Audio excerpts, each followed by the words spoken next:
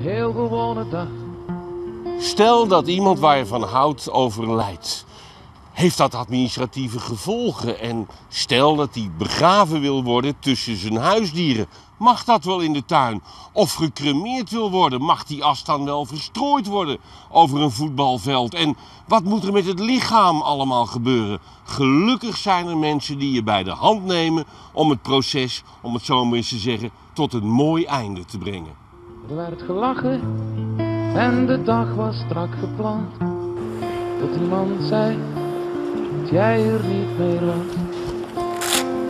Ik wou je even laten schrikken. Hi, Henk Westbroek. Angelique van Dommelen. Als ik zo om me heen kijk, denk ik... Qua kisten zijn jullie voorbereid op een milde tsunami in Utrecht, hè? Ja, maar we zijn hier natuurlijk een regionaal centrum. Dat is waarschijnlijk de meest populaire kist. Dat is de meest gangbare kist. Ja, ja mijn zuster is dit jaar in eh, dit modelletje begraven. Ja, dat is hoe, een- lang, eh, hoe, lang, hoe lang blijft zo'n kist in de grond heel?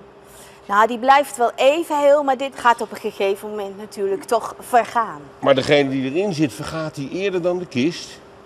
Die gaat, ver- vergaat eerder als de kist. Ja, Want ja. het vergaan van iemand gaat van binnenuit. Ja, ja. Dat gaat niet van buitenaf zoals de meeste mensen denken. Dat je opgegeten wordt door de... Ja, door wormen of wat dan ook. Of Maar dat beestjes. is het niet. Het gaat vanuit binnenuit, vanuit je eigen bacterie, Oh. gaat, vergaat het lichaam. Tien telefoons, hetzelfde bericht. En iemand zei dat jij er niet meer was. Er gaan mensen dood omdat ze te veel gegeten hebben aan een hartstilstand. Maar helaas ook aan gruwelijke ongelukken. Ja. Dan zien ze er vaak niet uit natuurlijk. Nee, Hoe krijg je nee. ze dan weer een beetje toonbaar? ja, dan is het wel eens zo dat we daar niks meer aan kunnen doen. Ja, want Dan gaat die overledene inderdaad in een hoes, hygiënische hoes. Ja. En die gaat in de kist. En, en dan die kist moet... wordt gesloten. Die kist wordt gesloten. Want het is eigenlijk niet meer toonbaar. Nee, maar al zouden we één vinger kunnen laten zien, Ja? Hè, of, of één iets, een horloge bij- of een stukje.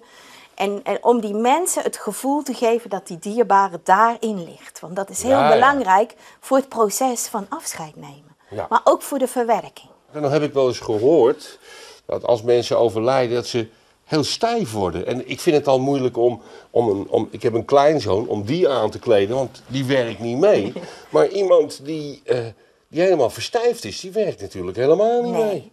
Maar dat kunnen wij heel voorzichtig met zeg maar massage, kunnen wij dat opheffen. Jullie masseren Dus- dode mensen om, om, om, om ze mooi in de blouse te kunnen krijgen? Ja, want we, we willen toch graag dat ze aangekleed worden. Ja, ja, nee, maar ik wil weten En hoe die dat... spieren die zijn Ja? wel stijf, maar dat wil niet zeggen dat je er niets meer mee kan.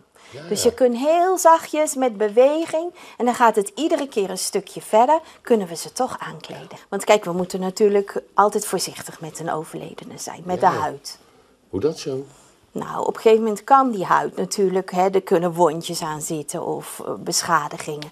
En dat moeten we natuurlijk niet meer kapot maken, hè, Ja. want dat gaat lekker. Maar dat gaat niet meer dicht. Ja, ja. Doe je er dan Ja, pleisters op? dus daar doen wij een gaas om en verband, zodat dat dicht gaat.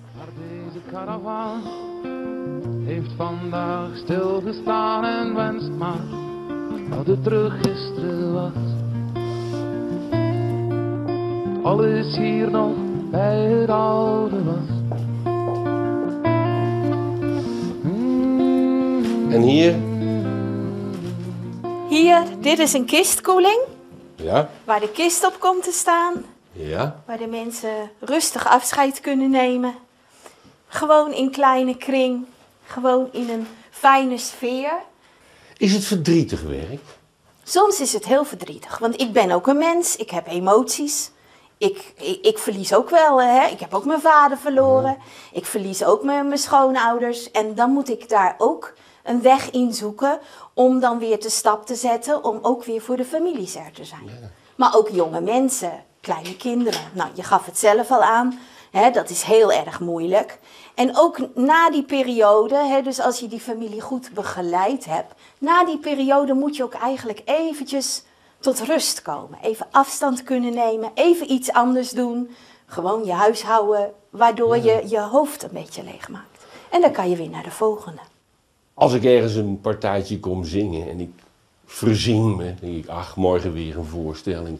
De laatste voorstelling gebeurt maar één keer. En die moet het allerbeste zijn.